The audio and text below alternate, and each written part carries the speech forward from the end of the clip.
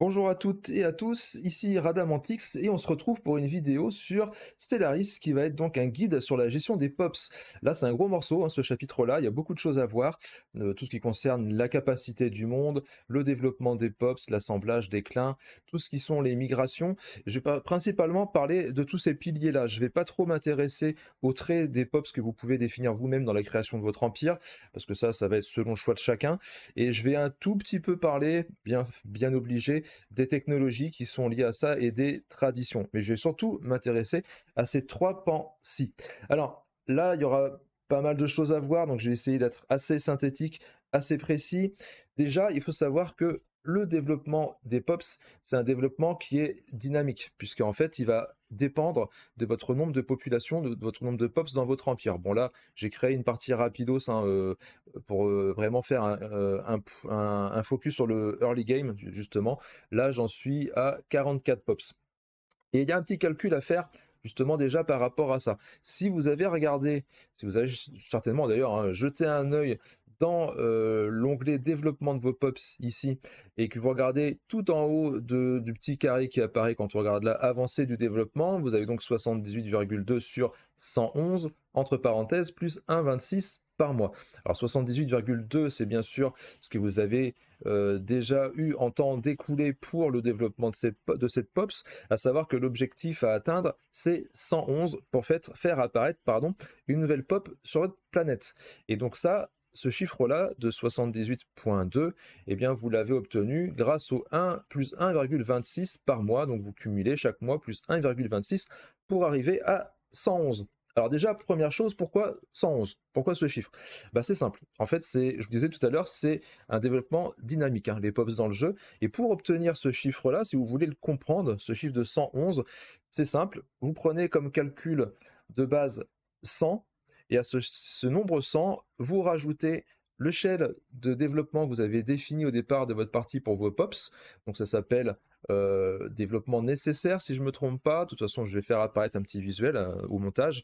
Euh, pour ma part, en ce qui me concerne, il est de 0,25.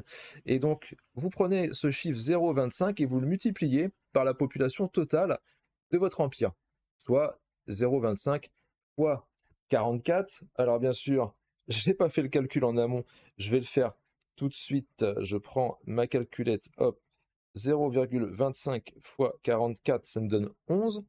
À 11, vous rajoutez le chiffre, le nombre de 100 de base que je disais tout à l'heure, et on arrive à 111. Et voilà comment on trouve ce chiffre-là. Donc comme ça, ça vous permet déjà de comprendre bah, pourquoi vous avez un chiffre qui change tout le temps à atteindre pour développer, débloquer plutôt, une nouvelle pop. Ensuite, euh, comment est-ce que va se déplacer, comment va se passer, pardon, le développement mensuel des POPs Eh bien, il va se faire en fonction de plusieurs facteurs. Il va y avoir le développement de base qui est égal à 3 par mois, plus le développement de la POP en question. Il va aussi être influencé par différents bonus. On voit là par exemple, hein, cartographie du génome plus 10%, vie nouvelle plus 10%. Donc là, cartographie du génome, ça va être une technologie, vie nouvelle, si je ne me trompe pas, c'est une tradition. Voilà, tradition, vitesse de développement, plus 10%. Et ce développement mensuel va aussi être influencé par la migration mensuelle, justement. C'est pour ça, là, qu'il y a euh, une petite subtilité encore à voir à ce niveau-là. Avant d'aborder euh, tous ces points-là et principalement le point des migrations, qui est aussi un point très important pour booster et développer vos POPs, euh, il faut savoir que le développement de base des POPs il va dépendre aussi de la capacité de votre monde. Là, la capacité du monde, vous l'avez ici, il est de 53. C'est pareil, ce chiffre-là n'est pas fixe, il est mouvant. En fait, ce chiffre va être à la fois défini par le nombre de logements libres que vous avez sur votre planète. Donc là, il est de 16, à savoir que chaque logement, logement libre octroie plus 1 euh, capacité pour votre monde. Autre chose qui va influencer la capacité euh, de votre euh, monde, ce sont les districts libres. Ça aussi, plus vous avez de districts libres, plus la capacité du monde est importante. Et donc, pour le coup, libérer des bloqueurs va aussi augmenter la capacité de votre monde. Et dernier facteur qu'il faut prendre en compte pour comprendre ce chiffre-là de capacité du monde qui peut diminuer ou augmenter, eh bien, c'est par rapport à vos POPs. En fait, malgré ce qu'on peut croire, hein, les POP aussi participent à agrandir ce nombre de... qui concerne la capacité de votre monde, puisque une POP, une POP égale une capacité supplémentaire pour votre monde. Sauf que, eh ben, vous allez me dire, bah oui, mais les POP consomment des logements, justement. Donc c'est pour ça que, eh bien, l'un dans l'autre, ça va euh, se réguler, puisque les logements et les POP donnent des points de capacité, mais à cause des POP qui consomment ces logements, en tout cas, ça va faire diminuer aussi en partie votre capacité de votre monde. Pareil pour les districts, hein. d'ailleurs, plus vous allez construire de districts, le, le, chiffre de votre capacité de monde sera réduit. À savoir, une dernière chose, euh, eh ben, c'est que vous avez une limite hein, à la capacité de votre monde. La limite est de 500. Alors, rentrons justement dans le vif du sujet. Plus tard, je parlerai des colonies, mais d'abord, je vais continuer à parler de ça. Justement, le développement des POPs, ou plutôt le boost des POPs. Euh, nous, ce qui nous intéressait, plus que de les développer, ça va surtout être de les, euh, bah, de les booster. Pour moi, il y a une petite nuance alors, je parlais de la capacité du monde tout à l'heure. Donc, c'est décrit, d'ailleurs, quand vous regardez là. Eh bien, cette capacité du monde, pas ici plutôt, ça va être là, je crois. Voilà, croissance de base, vous voyez en, bas, hein, croissance de base accélérée grâce à l'équilibre entre la population et la capacité de ce monde. Tant que vous êtes en dessous de la limite de la capacité de votre monde, eh bien, les développements des POPs vont être euh, accélérés jusqu'à en tout cas atteindre la moitié, la moitié de cette capacité du monde.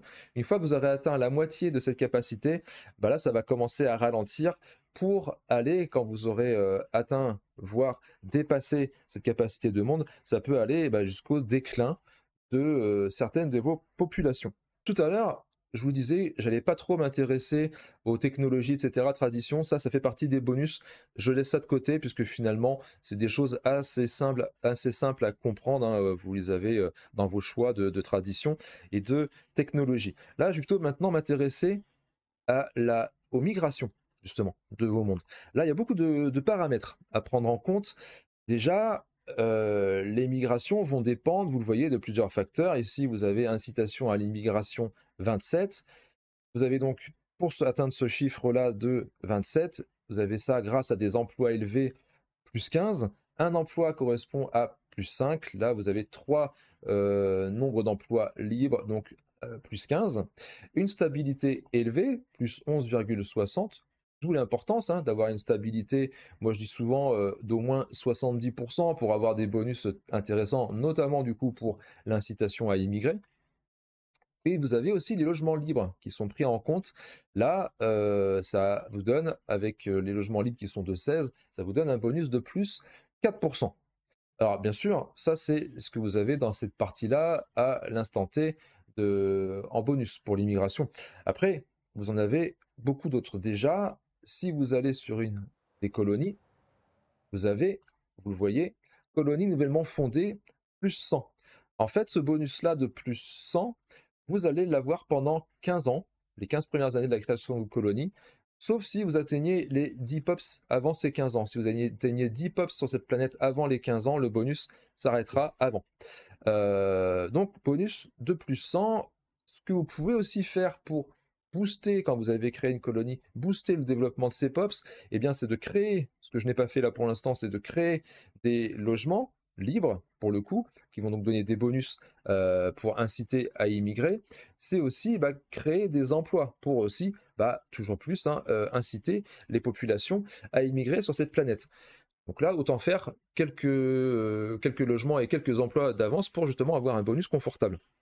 Autre chose, et là vous le voyez, qui va participer à booster encore plus cette incitation à immigrer sur votre colonie, pardon, eh bien, c'est de distribuer des produits de luxe. Et ça, ça passe par les décisions. Décision qui est ici, voilà. Euh, distribuer des produits de luxe, ça confère le modificateur produits de luxe distribués pour 10 ans. Donc, incitation à immigrer plus 25%.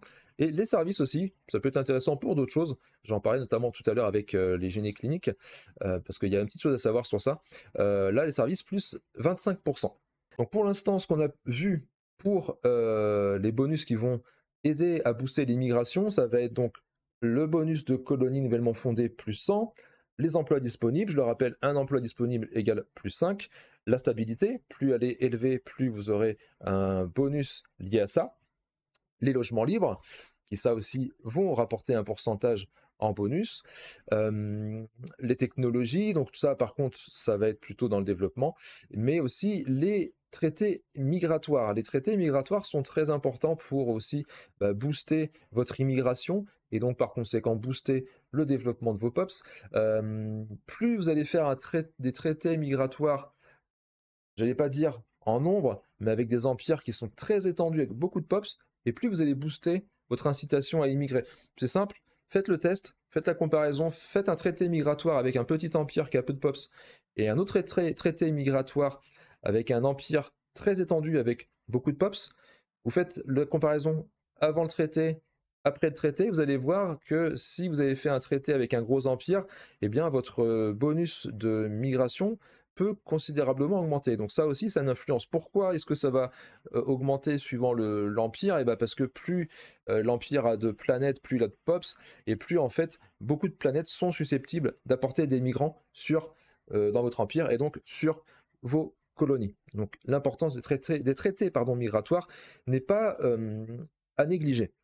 Et donc une fois que vous avez qu'on a dit ça, eh bien il faut après prendre en compte les euh, immigrations et les émigrations. Là, je pense qu'on peut le voir sur ma capitale. Voilà, là vous avez un, bel exemple. Euh, émigration actuelle, 3,30.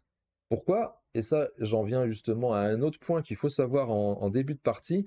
Parce que pour l'instant, là, j'ai ma capitale, j'ai deux colonies. On est en 2212, je l'ai fait exprès hein, de, faire très vite deux colonies pour vous montrer justement l'inconvénient de vous jeter trop vite sur euh, des planètes, tout simplement, et eh bien vous voyez que là, l'incitation à l'émigration, elle est de 100, parce qu'il y a des colonies nouvellement fondées plus 100. En fait, il faut savoir qu'une nouvelle colonie va euh, donner une incitation à émigrer dans tout l'Empire de plus 50, et que cette, je y incitation de plus 50, elle va être dispatchée entre toutes les planètes qui n'ont plus en fait ce bonus de colonie nouvellement fondée. Et le problème, c'est qu'en début de partie, ben, la seule planète qui peut euh, pourvoir à cette incitation à l'immigration, c'est votre capitale. C'est votre capitale. Et donc là, si vous faites très vite les deux colonies en début de partie, comme là j'ai fait exprès pour vous euh, montrer ça, eh bien vous allez grandement pénaliser tout simplement le développement des POPs de votre capitale. Là vous voyez, euh, l'incitation à l'immigration elle est de 27, l'incitation à l'émigration elle est de 100 qui au final donne une réduction du développement des POPs de moins 3,30. Et on se retrouve en définitive pour euh, l'avancée du développement à plus 1,26. Ce qui en fait, je ne l'ai pas dit au début de la vidéo, mais est très faible. Hein. Plus 1,26 à ce moment-là de la partie, c'est très faible. Donc moi, ce que je vous conseillerais, c'est que même avant de faire votre première colonie, attendez un petit peu. Attendez bah, tout simplement de développer un peu les, les, les POPs de votre capitale. J'ai envie de dire, bah, le bon moment pour lancer votre première colonisation, j'ai envie de dire, c'est quand vous euh, jugez que les premiers besoins sur votre planète sont, euh, sont alloués. Là, par exemple, vous voyez, je l'ai fait encore une fois exprès pour cette vidéo. Là, vous voyez, j'ai moins 2 en service. Si j'avais eu ça dans une partie euh, en réel, j'aurais d'abord attendu de pourvoir à ces moins 2 avant de lancer la colonisation d'une première planète. En même temps, si je n'avais pas lancé deux planètes deux colonies, mais qu'une colonie, peut-être que j'aurais pas eu ce problème de moins 2 en service. Mais vous avez compris l'idée. En fait, il ne faut pas se jeter au départ trop vite sur vos colonies, sous peine de pénaliser le développement de vos POPs sur votre capital. Pour finir hein, avec euh, cette émigration, comment est-ce qu'elle va être dispatchée? Par exemple, là, euh, émigration actuelle 3,30. Et eh bien, cette émigration, euh, ça va être dispatché auprès des colonies et dans un ordre, euh, je dirais, plus la colonie est attractive, plus c'est elle qui va attirer le plus de migrants chez elle, tout simplement. Donc là, bah, pour privilégier par exemple une colonie par rapport à une autre, ça va être bah, notamment, euh, ça va passer par la distribution de produits de luxe. Par exemple, ça peut être un bon moyen de différencier une colonie que vous souhaitez privilégier par rapport à une autre. Alors avant de passer je vais parler un petit peu de certains bâtiments, notamment des génies cliniques. Avant de, de parler de ça, je voulais euh, je m'aperçois que je n'ai pas parlé d'une chose par rapport au développement des POPs, c'est l'habitabilité du monde. Là, vous voyez, il y a un malus de moins 5% pour le développement de cette POPs à cause de l'habitabilité du monde. Hein. Vous le savez que les espèces ont chacune leur préférence planétaire. Si, euh, bah, si elle n'est pas 100% conforme à votre espèce, vous aurez un malus en termes d'habitabilité. Et donc ça, vous le voyez, vitesse de développement des POPs, moins 5% à cause du fait que l'habitabilité est de 90%. D'où l'intérêt, après, à terme, hein, de pouvoir euh, terraformer vos planètes ou encore modifier génétiquement vos POPs. Mais ça, c'est un autre sujet que je réserve à un autre guide, justement. Alors, je voulais parler des bâtiments. Donc là, ce que je vais faire, euh, parce que je crois que j'en ai pas dans cette partie, hein, je, vais aller très vite. Je marque que, euh, vous allez voir, ça va se téléporter d'une partie à une autre. Je vais prendre une partie où j'ai justement ces bâtiments-là. Alors, nous voilà sur une autre partie, qui cette fois, celle-là est plus proche du late game que du euh, early game. Est-ce que j'ai là... Là, je l'avais enlevé cette planète-là. Tac. Voilà. Non, c'est pas ça où est-ce qu'il est? Voilà, centre de cyto-revitalisation qui est, avant d'être évolué, qui est un, une gênée clinique. Alors, les, les, euh, les gênés cliniques font partie, euh, ou devrais-je dire, devraient faire partie des bâtiments qui vont contribuer grandement au développement de vos POPs. Donc là, j'ai quelques réserves justement par rapport à ça, parce que vous allez voir que bah, ce n'est pas entièrement euh, le cas, tout simplement. Alors, euh, intrinsèquement, c'est le cas. Quand vous creusez un petit peu, malheureusement, c'est un bâtiment qui peut être un peu limité dans ce qu'il propose. Donc, ce que j'ai envie de dire, c'est que le choix de construire une génie clinique sur votre planète, il peut être discutable pour deux raisons. Déjà, la première raison, c'est qu'il va vous prendre deux jobs pour pouvoir pourvoir à ce qu'il euh, s'engage à faire. Là, il s'engage à faire ce bâtiment euh, avec des emplois de soignants, à transformer les biens de consommation en services, à accélérer la vitesse de développement des POPs et d'assemblage des POPs organiques pardon, et, et d'accroître l'habitabilité de votre planète. Donc là, quand on lit ça, c'est génial, hein. on voit que la production estimée des emplois, donc là bien sûr c'est un centre de cyto-revitalisation, euh, mais si on prend une génie clinique, est-ce que j'en ai une génie clinique? Ça serait peut-être mieux quand même pour euh, mieux comprendre. Alors je suis en train de vous dire une chose que moi-même je n'ai pas appliquée, je vous dirai aussi pourquoi. Alors les génies cliniques, là voilà, j'en ai, trouvé une. Pourquoi est-ce qu'au final c'est un choix discutable de construire une génie clinique sur votre planète ou sur vos, euh, habitats?